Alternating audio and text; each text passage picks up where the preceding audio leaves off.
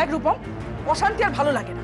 যা হয়েছে সেটা ভালোর জন্যই হয়েছে। কেন শ্রেয়া বাড়ি ছেড়ে চলে গেছে? পিসিমণি তুমি এবার প্লিজ চুপ করো তো আমি মার সঙ্গে কথা বলছি। অনেকক্ষণ ধরে অনেক কথা তুমি বলেছ। মাঝখানে ঢুকো না। মা বলো। আমি বলছি।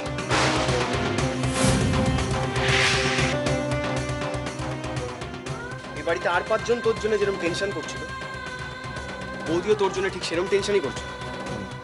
কিন্তু সবার এখানে মনে হলো যে তোর বাড়ি না ফেরার একমাত্র কারণ হচ্ছে বৌদি।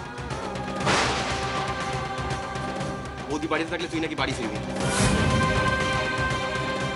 ব্যাস, সবার যখন এই কথাটাই মনে হলো তোর বৌদি কখনো টিকতে পারে এখানে?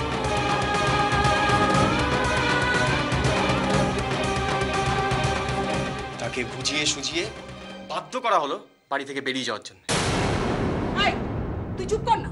বড্ড বেশি কথা বলিস আজকাল। তোমরা কিছু বলছো না বলে তাই আমি বাধ্য হচ্ছি দাদা কি কথাগুলো বলতে। এত ভালো, বড় একটা কাজ করেছ দাদার জন্য। নিজে থেকেই তো তোমাদের কথাগুলো দাদাকে বলা উচিত, তাই না?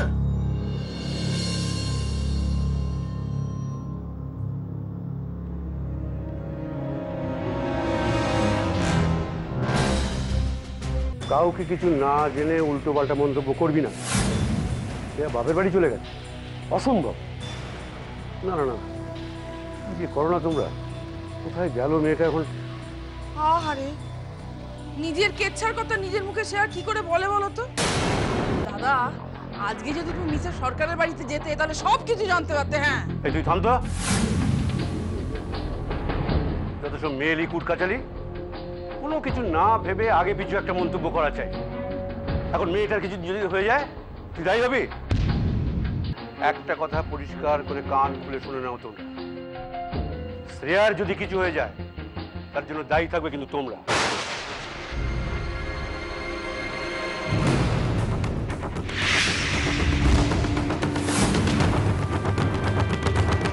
দাদা বাড়িতে এসে ঘটনা শুনে ছুটতে ছুটতে এখানে এসেছে। আমি বিশ্বাস করি তোমাদের কারোর কথা আমি বিশ্বাস করি না। যতক্ষণ না দিভাইকে খুঁজে পাওয়া যাচ্ছে ততক্ষণ পর্যন্ত তোমরা কেউ বাড়ির ভেতরে ঢুকবে না। আমিও তোর সাথে যাব। কোনো দরকার নেই। আমি একাই শ্রেয়াকে খুঁজে বার করব। আর যদি না পাই আমি আমি কোনোদিন ফিরবো না।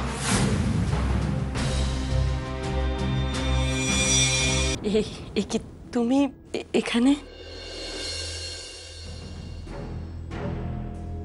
আপনার সঙ্গে দেখা করতে এলাম। হঠাৎ? আপনি বোধহয় নিজেকে খুব চালাক মনে করেন তাই না? তা বলে অন্যদের এতটা বোকা ভাবাও কিন্তু ঠিক নয়। কারণ আমি খুব ভালো করে জানি এই সব কাজগুলো আপনি করেছেন। তোমাকে কেউ ফেরত নিতে আসবে এটা তুমি ভেবো না। এত আশা করো না জানো তো? আশায় মরে চাষা শ্রেয়া। শ্রেয়া?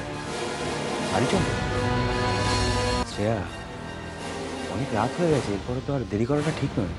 এসো। এবারে তাহলে আমি আসি মিসেস সরকার? তবে যাওয়ার আগে একটা কথা বলে যেতে চাই।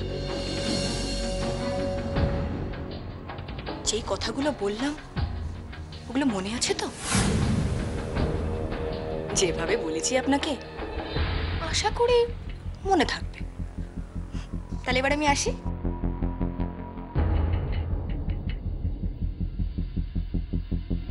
আমার বাড়িতে এসে আমাকে আমাকে চ্যালেঞ্জ করছে। আমাকে শাসিয়ে যাচ্ছে।